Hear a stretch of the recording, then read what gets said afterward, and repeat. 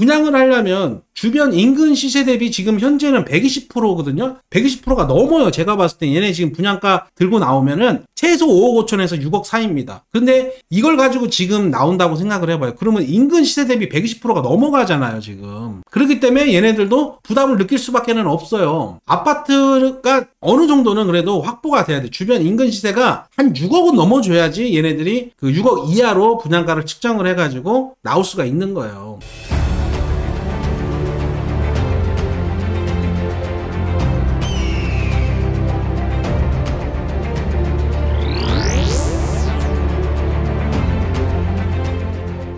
안녕하세요. 방구석TV 정소장입니다. 자, 오늘은 어, 9월 12일자 어, 실시간 라이브 방송을 진행을 하려고 하는데 이제 추석 명절이 좀 껴있잖아요. 내일부터 본격적인 추석 연휴가 껴있습니다. 놀러 가시는 분들이나 또 가족들과 한가위 보내시는 분들 뭐 사고 없이 잘 다녀오시기 바라며 또 하나의 주상복합 아파트죠. 대방 디에트르 어, 오늘 어, 4차 건축 심의가 진행이 됐었는데 어, 요게 이제 재검토 의결이 나왔습니다. 그래서 어, 많은 이 사전 청약 당첨자분들이 진짜 긴 시간을 어, 기다렸거든요. 어, 2년이라는 시간을 기다렸기 때문에 어, 지금 요번에 또 마지막 인허가 절차가 어, 재검토 의결이 되면서 많은 분들이 좀 실망하셨을 것 같아요. 그래서 어, 영종국제도시 이제 RC4 이제 주상복합 아파트 대방 디에트르에 다시 처음으로 돌아가서 다시 한번 좀 왜 이렇게까지 지연될 수밖에 없는지 그리고 뭐 분양가가 얼마큼 올라갈지에 대해서 그런 것들도 한번 같이 소통을 해보는 시간을 가져볼 거예요. 어, 방송 시작해 보도록 할게요. you 자, RC4 주상복합 대방 디에트르 이제 재검토 의결이 진행이 됐어요. 2022년 2월 28일 날 어, 토지를 낙찰을 받았습니다. 어, 당시 때 어, 부동산 시장이나 분양 시장이 광풍을 불던 시절이었어요. 저 2022년 2월 달 하면 지난 상승장이었잖아요. 그죠? 그리고 사전 청약 모집 공고가 언제 나왔냐? 사전 청약 같은 경우는 2022년 7월, 7월 8일 날 이제 모집 공고가 나와서 지금 사전 청약자분들이 청약을 넣으셔서 이제 된 겁니다. 이 사전 청약 자체가 지금 원래 토지를 낙찰받는 조건이 뭐였냐면은 6개월 이내에 이 사전 청약을 진행을 해야 되는 조건부가 있었어요. 그래서 어, 대방 디에트르뿐만 아니라 그때 뭐 한신도유 3차 그리고 우리가 아는 이제 A16 블럭인 그 제일 풍경채 2차 같은 경우도 어, 이 사전 청약 조건이 더 있던 단지였죠. 그래서 부랴부랴 어, 토지를 2월 달에 낙찰받고 그다음에 7월 달에 부랴부랴 본청약을 한 거예요. 그런 다음에 이제 사전 청약 당시 어, 본청약이 이제 예정일이 언제였냐면은 2023년 10월 달이었어요. 요때 본청약을 하겠다고 사전 청약을 2022년 7월 달에 한 거예요. 근데 지금 시점은 2024년 9월이라는 거죠. 자 보면 1차적으로 어, 이 본청약 시기가 연기된 거는 2024년 7월로 이제 연기가 된 거예요. 요때도 이제 많은 사람들이 기대를 했어요. 요때까지는 사전 청약자분들이 아마 많이 들고 계셨을 겁니다. 포기 안 하고 이제 2차적으로 요때 한번 또 연기가 됐죠. 본청약이 이제 2025년 2월로 지금 예정이 되어 있는데 어, 사실상 지금 오늘 재검토 의결이라는 거를 딱 받고 나서 느낌이 딱 오는 게 어, 내년 2월도 사실상 좀 힘들지 않을까 저는 그렇게 생각을 해봅니다. 대방 디에트르가 이제 중산동 이제 RC4 블럭이죠. 1021세대 중에 사전 청약 이제 공급을 868세대를 한 거예요. 자료들 보니까요. 어, 대방 디에트르에 지금 아직까지 포기하지 않고 남아있는 사전 청약자분들이 어, 300여 명이 됩니다. 어, 300여 명이 되고 생각보다는 많죠. 어, 무조건 기다리겠다. 이러시는 분들이 꽤 있습니다. 자, 추정 본 그 청약 시기는 2023년 10월로 예정되어 있었는데 요게 지금 본 청약 예정일이 2025년 2월로 돼 있잖아요. 그죠? 그리고 추정 입주 시기 보면 더 깜짝 놀랍니다. 2027년 2월 달에 입주를 목표로 사전 청약을 했다는 겁니다. 어떻게 보면 임시 방편으로 그 당시 때 어, 너무 과열된 그러니까 지금 토지 낙찰 받았을 때는 2022년 2월이었잖아요. 그러니까 사전 청약을 진행했던 요, 요 때까지는 어, 청약 시장이 굉장히 1순위 마감이었어요. 네, 맞아요. 자, 아무튼 어, 그 당시 때 토지를 낙찰받을 당시 때의 문제는 없었어요. 그 당시 때는 주변 시세가 얼마였냐? 보통 5, 6억 정도를 했었어요. 저 뭐지? 추정 분양가라고 내놓은 게 있어요. 그게 얼마였냐? 여기 밑에 보시면은 사정 추정 분양가가 84 타입들이 A 타입은 4억 9,500, B 타입 같은 경우 4억 5천이었어요. 어, 지금 어, 들어보시면 말도 안 되는 거죠. 근데 그 당시 때 이제 부랴부랴 내놓은 게 요 정도였어요. 그러니까 얼마나 어, 사람들이 관심을 많이 어, 가질 수밖에 없었을 때였다라는 거죠. 그래도 1순위 청약이 마감이 됐어요. 사전 청약 868세대가 1순위에 다 마감이 됐던 그런 사례였었습니다. 어, 112제곱미터 이 45평 애들은 A 타입하고 B 타입하고 분양가가 7천만 원이나 차이가 나요. 어, 말도 안 되죠. 근데 이 분양가는 당연히 안 돼요. 이 분양가는 안 되기 때문에 지금 어, 얘네들이 시점 잡은 거 봐봐요. 본청약을 2023년 10월로 잡았는데 이 분양가가 그 당시 때는 파격적이었죠. 주변에 5, 6억 정도 분양가를 가지고 있었는데 이 정도 분양가를 내놓은 거면 굉장히 파격적이었던 거거든요. 지금 만약에 어, 이 추정 분양가를 내놓으라고 하면 아마도 한 5억 중후반 정도 되지 않을까 어, 이렇게 좀 보여집니다. 뭐 물론 어, 큰 평수들 45평 같은 경우는 뭐 7억이 다 넘어갈 수도 있고 어, B타입 같은 경우는 왜 이렇게 7천만 원이 차이가 나는지는 모르겠어요. 어, 간혹 가다가 이러는 경우 있는데 그때 추정 분양가 당시 때도 분양가 차이가 굉장히 컸다. 같은 평형인데도 어, 지금 어, 지금 상황은 이렇게 된 거예요. 지금 2022년 2월부터 시작된 이 RC4 이 주상복합 용지가 지금 2024년 어, 9월인데 여태까지도 아직 인허가를 하고 있다. 요게 핵심인 거죠. 음. 자 그리고 두 번째 자료 보시면 자 요번에 2024년 7월 어, 7회 이제 건축위원회 그 심의 주요 결과를 한번 살펴보도록 할게요. 자 보면은 어, 건축주는 이제 DB종합건설 이게 대방건설이에요. 대방건설이고 세대수가 공동주택이 1021세대 그리고 업무시설 오피동 오피하고 이제 상가 해가지고 이렇게 구성이 되는 주상복합 아파트였습니다. 그 건축물 동수는요 어, 아파트 주거 같은 경우는 주거동 같은 경우는 6동이에요. 원래 처음에 7동이었었습니다. 7동이었는데 어, 이제 주상복합답게 뭐 40층 이상의 진짜 초고층으로 올려서 정말 멋있게 어, 지어달라는 사전 청약자들이 막 요청을 하고 그래서 이게 그 중간에 한번 딱 설계가 바뀌면서 인허가 과정에서 7개였던 동이 주거동이 6개로 바뀝니다. 그리고 앞에 전면동들이 48층, 49층으로 어, 수정이 되는 거죠. 대폭. 자, 근데 이제 왜 8개 동이냐? 오피동이 이제 하나, 하나 있었어요. 오피동이 원래는. 하나가 있었는데, 오피동을 중간 정도로 내린 다음에 이걸 두 개로 만들어 버린 거죠. 앞쪽 자료 보시면은 어떤 느낌이냐면 이런 겁니다. 원래 얘가 어, 굉장히 높게 올라갔어요. 이, 이 주거동보다도 훨씬 더 높았습니다. 근데 얘를 뒤에를 하나 더 나눠 버리게 된 셈이고요. 다시 보면은 어, 원래 조건부 의결이 나와야 되는 상황이었던 것 같아요. 제가 봤을 때는 어, 얘네들이 이제 왜 빠꾸를 먹었냐? 어, 그거를 뒤에서 이제 살펴볼 건데 제가 봤을 때는 아무리 이걸 뜯어봐도 조건부 의결도 가능하다고. 왜냐면 이게 어, 심의를 하게 되면은요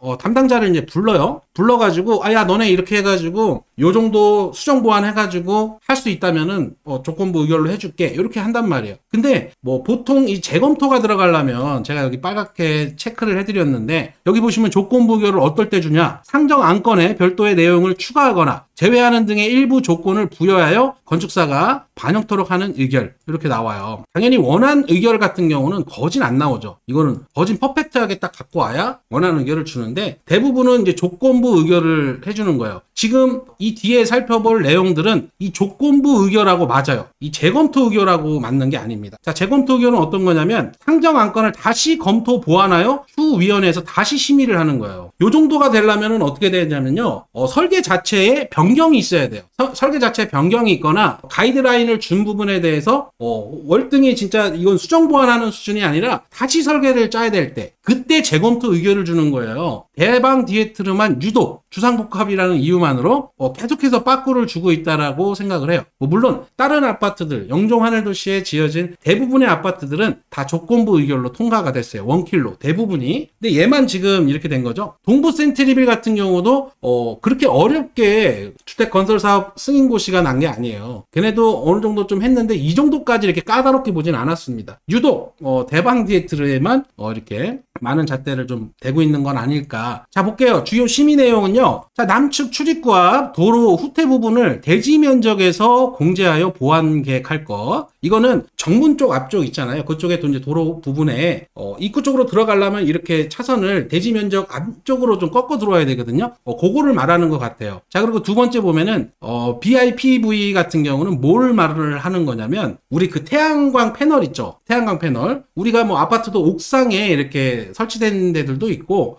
이 태양광 패널을 인면 인면에다가 붙여가지고 활용을 해라 요겁니다. 어, BIPV 설치 위치 및 선, 어, 성능 등을 명확히 계획을 해라. 자 외벽에다가 이제 어, 태양광 패널을 이제 설치를 하는데 자재 확인 후에 뭐 적합한 자재를 적용을 해라. 그리고 어, 태양광 설치 시 이제 커튼 원룩으로 마감한 주동, 어, 주동이 어디에요? 1동하고 어, 아마 4동일 겁니다. 그 차이가 크지 않도록 색채 및 재료 선정에 신중을 기하기 바람. 너무 까다롭죠? 굉장히 어려운 부분이거든요. 뭐 물론 이게 뭐 기존의 아파트들에서 뭐 다른 지방 같은 데나 서울 같은 데 적용하고 있는지 모르겠지만 이거를 지금 저는 처음 봤거든요. 어, 물론 뭐 건축 하시는 분들한테는 흔할 수 있는데 이걸 태양광 패널을 건물 인면에다가 붙이라고 하는 거는 처음 봤어요. 여기 채팅방에 들어와 계신 분들도 아마 같은 입장이지 않을까. 자, 근데 그 와중에도 색채와 재료 선정에 신중을 기한대. 이게 말이 돼요? 경찰청은 진짜 이거 서로 짜고 하나? 이렇게까지 볼 게 아니거든요, 사실은. 태양광 패널을 어떻게 색채까지 맞춰가지고, 어, 커튼 원룩처럼 보이게끔 어떻게 합니까?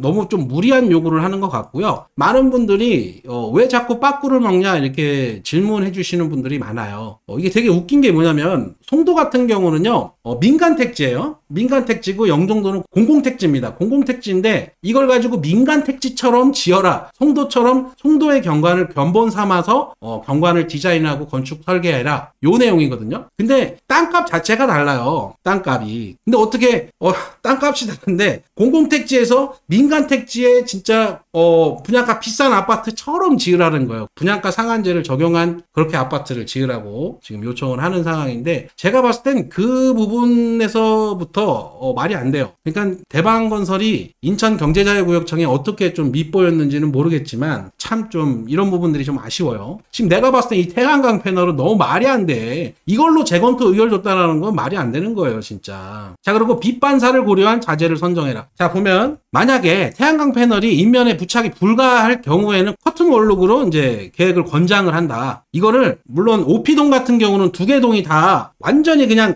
원룩으로 도배를 했습니다. 주거동 같은 경우는 부분적으로 좀 있어요. 자, 그 부분도 지금 다 수정을 하라는 거예요. 백이동, 백사동 상부층, 도장 부분은 백일동, 이게 주동이라 그랬죠, 백일동이. 주동과 같이 커튼월 look으로 마감을 어, 필요로 한다. 이게 참 같은 내용이죠, 지금 다. 그죠? 얘가 되면 태양광 패널이 이제 되면은 어, 그것도 좀 신중해서 신중하게 색이랑 재료 이제 자재 부분에서 신경을 써서 해야 되고 만약에 얘를 부착하는 데 뭐 비용 상승이나 이런 것들이 뭐 불가하게 못할 경우에는 커튼월 look으로 해라. 그러니까 결론은 그거잖아요. 커튼월 look으로 해라. 고급스럽게 분양가가 올라가든가 말든가 자 보면 남측 도로변과 평행 배치된 주거동에 어, 도로 소음 대책을 수립해라. 이 부분은 뭐냐면 현대스테이트하고 오션하임하고 그리고 저 대방 디에트르라고 예전에 이제 동보 센트리빌이 지금 포기했던 RC3 이 왕복 8차선 도로 어, 오션하임 같은 경우는 좀 이게 지대가 있어 요. 지대가 있어가지고 완충 녹지를 통해서 여기서 말하는 어, 도로 소음이나 이런 것들을 이 완충 녹지를 통해 가지고 조금 감소시킬 수 있거든요. 자 그런 거 좀 하라는 거예요. 이런 것도 좀 지적을 했다. 자 그리고 어린이집, 보육실, 채광 및 안전 관련하여 교실, 유희실 등 어, 주요실들을 남향으로 재배치하여 어, 평면 및 배치 계획 수정. 아 요거는 그냥 넘어가도록 하죠. 어, 그렇다고 하고 자 비주거 부분 업무동 같은 경우나 이제 어, 상가동 주차 시설을 해당 용도에 근접한 위치로 조정을 해라. 자, 홈 네트워크 설비 이제 세대 간 해킹 방지 필요가 저 이제 적용을 해달라. 요건데 이게 우리가 이제 wall pad라고 하잖아요. 이 wall pad 같은 거를 우리가 해킹 뭐 위험 뉴스가 좀 나왔었잖아요. 그래서 해킹 반, 방지할 수 있게끔 요 시스템을 좀 적용을 해라. 요 내용입니다. 자, 그리고 이제 소방 분야 한번 볼게요.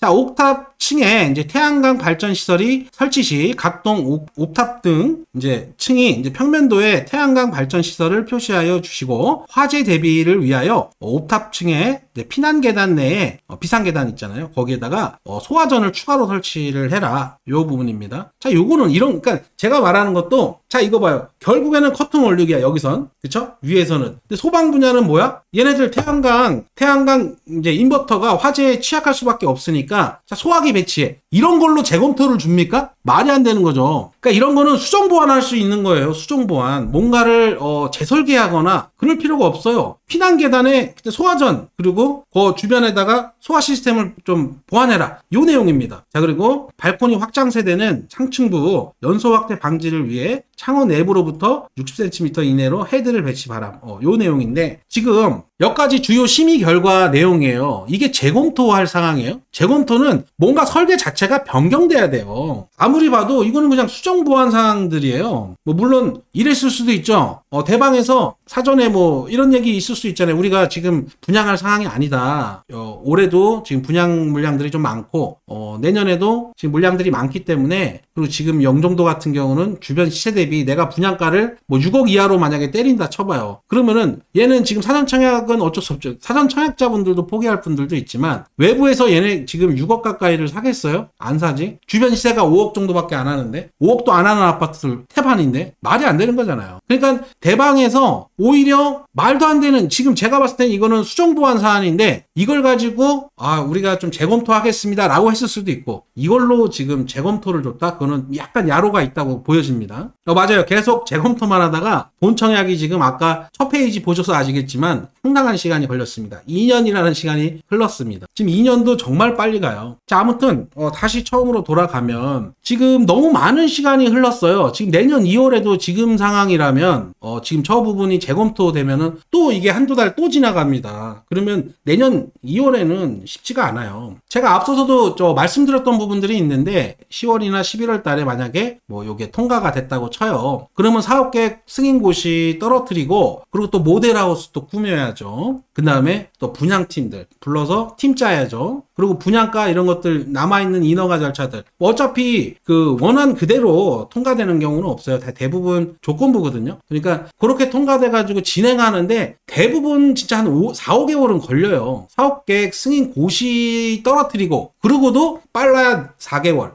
보통은 6개월 정도 걸린다고 얘기를 해요. 현장에서는 그러면 지금 내년 2025년 2월에도 이게 가능할까 싶기도 합니다. 어, 지금 현재로서는 요번에 떨어뜨려 놓으면 2월 달에 바짝 진짜 대방이 사업 의지가 진짜 불타올라서 진행을 한다 그러면 가능할 수도 있죠. 내년 2월에. 요번에 통과했으면. 그리고 바로 사업계획 승인 곳이 떨어뜨린 다음에 바로 이제 어, 부지 확보하고 모델하우스 이제 준비하고 팀 꾸리고 기본 세세한 부분들. 그러니까 지금 같은 경우는 2월 달에 안 돼요. 제가 봤을 때는 2월 달에서 한 7월, 7월, 6, 7월 정도로 밀리지 않을까. 그 과정에서 주변 시세가 올라가지 않으면은 여기도 일단은 후순이라는 거예요. 대방 입장에서 제가 봤을 때. 근데 사전청약자분들은 그동안 진짜 막연한 기다림에 지칠 대로 지쳤죠. 한 2년 기다렸잖아요. 근데 아직도 내년 2월이라는 희망을 갖고 있지만 어, 지금 또 이렇게 재검토 의결이 나버리면 사실상 2월 달에는 쉽지 않겠다. 이게 3, 4월 만에 3, 4개월 만에 준비할 수는 없어요. 어, 제가 어, 딴 방송 때도 언급을 해 드렸지만 이게 대방도 어떻게 보면은 어, 이걸 가지고 하고 싶지 않아서 안 하는 게 아니에요. 왜냐면 분양을 하려면 주변 인근 시세 대비 지금 현재는 120%거든요. 120%가 넘어요. 제가 봤을 때 얘네 지금 분양가 들고 나오면은 최소 5억 5천에서 6억 사이입니다. 근데 이걸 가지고 지금 나온다고 생각을 해봐요. 그러면 인근 시세 대비 120%가 넘어가잖아요, 지금. 그렇기 때문에 얘네들도 부담을 느낄 수밖에는 없어요. 아파트가 어느 정도는 그래도 확보가 돼야 돼. 주변 인근 시세가 한 6억은 넘어줘야지 얘네들이 그 6억 이하로 분양가를 측정을 해가지고 나올 수가 있는 거예요. 그러니까 지금 현재 어 대방 디에트르 같은 경우나 그 전에 앞전에 이제 취소됐던 다섯 개 단지들 있죠. 다 마찬가지예요. 걔네들도 지금 만약에 토지를 낙찰 받았을 때는 문제가 없었다는 거죠. 근데 토지를 낙찰 받은 이후에 인근 시세가 확 떨어지게 되면서 그죠? 지난 상승장 이후에 하락장을 한번 맞았잖아요. 그런 다음에 타산이 안 맞은 거죠. 원래 예전에 토지를 낙찰 받았던 2022년 2월 달에는 그 타산이 맞았었던 거죠. 왜? 인근 시세 대비 그때 힐스테이트가 5억 5천 6억까지 갔던 시절이었습니다. 지금이야 뭐 4억 4억이면 사지만 그때는 6억까지 갔어요. 최고가가. 인근 시세가 올라가기 전에는 얘네 분양 안 할 것 같아요. 제 느낌엔 그래요. 지금 추상복합 아파트 같은 경우는 이 아파트만 놓고 생각을 하면 안 돼요. 그러니까 업무동도 있고 그다음에 상업시설도 있고 그러니까 상가랑 오피동하고 얘네들이 가장 걸림돌일 거예요. 지금 그 시장이 굉장히 어려운 시장이거든요. 그리고 금리가 지금 어느 정도 우리가 주택금리만 생각하는데 상업용 시장, 토지, 오피, 그 다음에 저 뭐야 상가 이런 것들 대출 받아보신 분들은 아실 거예요. 지금 최하단이 거진 5% 후반대입니다. 그 거진 웬만하신 분들은 6%대 금리 받으세요. 상업용 부동산은 지금 상가 갖고 있는 분들 지금 물어보세요. 주변에 상가 갖고 있는 분들 금리 어느 정도 나오냐고. 프로 7%대 받고 있는 분들 많습니다. 야, 그러면 사람들이 저 상업용 부동산에 투자를 할까요? 안 해요. 어, 혹시라도 무주택자분들 중에 다른 기회비용, 진짜 이거보다 훨씬 더 좋은 기회비용들이 많아요. 많은데 그냥 영종도에서 나는 진짜 최고의 아파트를 그냥 사고 싶다. 그러면은 기다려도 됩니다. 만약에 얘네가 사업을 시행을 하게 되면은 이만한 아파트가 없어요. 영종도에. 제가 대방 디에트로에도 여러 영상을 많이 해줬지만 대방 디에트로만한 입지와 그리고 또 이런 외관 이런 것들이 없어요. 그렇기 때문에 언젠가는 하겠지만 언젠가는 이 분양 받아 갖고 입주까지 하신 분들은 진짜 정신 승리하는 거야. 정신. 아무튼 어 그렇게 잘 각자 도생하시기 바라면서 오늘 영상 이만 마치도록 할게요. 추석 명절 잘 보내시기 바라면서 저는 또 다음에 또 좋은 소식들을 차, 소식들로 찾아뵙도록 할게요. 자 이만 어, 영상 마치도록 하겠습니다.